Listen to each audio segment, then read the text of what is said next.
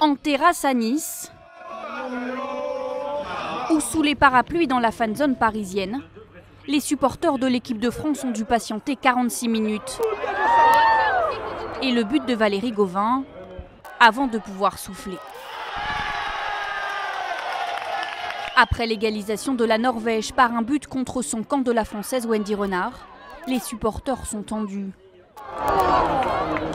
Mais le pénalty rentrant d'Eugénie Le Sommer soulage les foules à 15 minutes de la fin du match.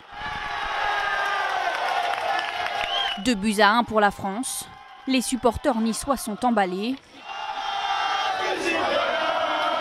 Les filles, elles ont très bien joué et ça fait plaisir de voir que tout le monde supporte les filles. Donc voilà. On va la gagner cette Coupe du Monde. Elles sont magnifiques. Ah ouais, extraordinaire. magnifiques. Franchement, euh, elles jouent un football qui est impressionnant, quoi. Malgré la pluie et le froid, les Parisiens font le même constat. Soirée réussie pour les Bleus. Il y avait une défense de la Norvège qui était incroyable, mais voilà, elles ont percé, elles ont dominé le match. Il y a eu, je sais pas, 18 tirs, euh, incroyable. C'est assez impressionnant. euh, elles sont très rapides et, euh, et euh, la technique euh, est vraiment, vraiment intéressante. Les Bleus ont mis un pied en huitième de finale. Quelle que soit la météo lors des prochaines rencontres, les supporters ont promis d'être au rendez-vous.